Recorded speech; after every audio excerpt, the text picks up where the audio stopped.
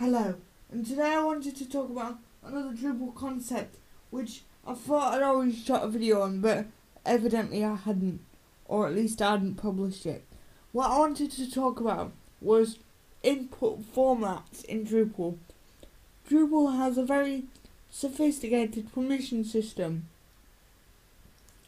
that we can use at our disposal, and part of that permission system is allowing people to input different different types of data and a data set that the user can input is known as an input format. Um, this can do things like restrict the tags a user can enter for, for security reasons and just do a whole bunch of stuff. So, um, I'm just gonna, I'm just going to show you that today. I'm on my little demonstration site here and I, I've just opened a piece of content. And um and it's this page here. And if you scroll down on the editing form of most pieces of content you'll see by default unless you've done hook form alters this input format drop down box. And by default you'll see filtered HTML which will be the one that is selected and full HTML this WordPress format one is one that was added by a module when I showed you that Word WordPress migration module. But each of them tells you certain things you can do. Like it tells you the tags you're allowed to um, tags you're allowed to spend in about line breaks and stuff. But you can customize all this and you can customize it based on Drupal roles of permissions. Like whatever you want to do. So what I'm going to do is put this on full filtered HTML and you can see the tags that are allowed. An anchor tag, an emphasis tag, a strong tag, a cite tag, a code tag, an un unordered list tag, an ordered list, list item, definition list, definition term, and DD. Um, so let's put that on filtered HTML and then stick a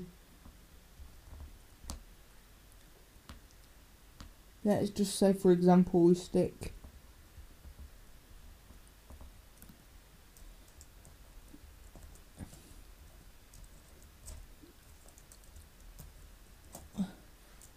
um H1 tag in there and we know that's not allowed by the input format.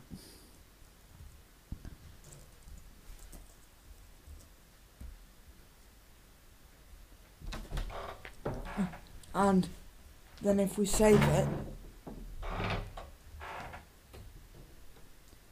we'll notice that um, there's no, the tag has been stripped away from that text and now it's just a generic thing. If if we go back to the code view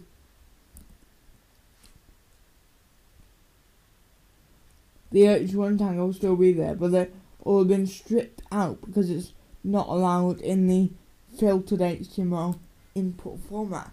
So this is really powerful.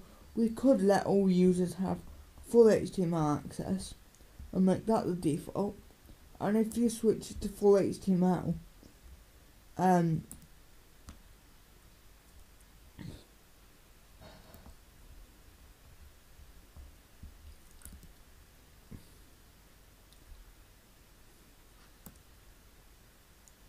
my H1 tag should be allowed in there, but it's not because it's in the summary view. But if I just do that. And then save it. It's trying to restore the input format. But if I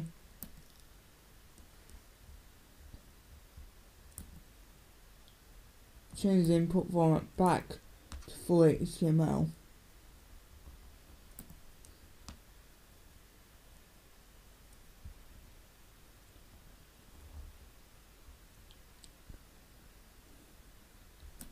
and I go ahead and view that. Um, it's not working now, but I, I think you get the point. That that should change to allow my H1 tag in there. Um,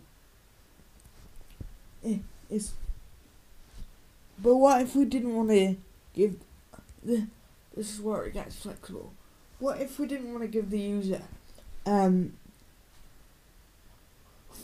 full HTML access to run everything on our site and certainly not PHP access because if you do the full HTML input format that will give them PHP access as well.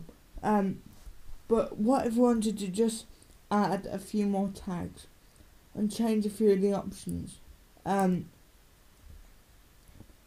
like for example, for a client site that I did, um, I wanted to let him have an H3 tag because that was important for his site for the for the H3 and for today today out.